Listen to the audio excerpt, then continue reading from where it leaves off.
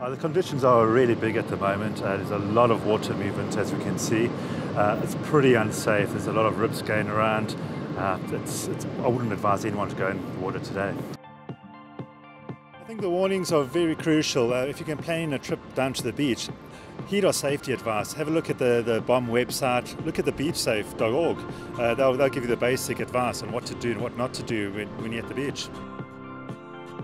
At the moment, the conditions are seem to be easing, but tomorrow, uh, hopefully by Wednesday, we'll go back to the normal, a bit, bit smaller surf. Uh, there may be a more uh, a peak in the swell again later on Thursday.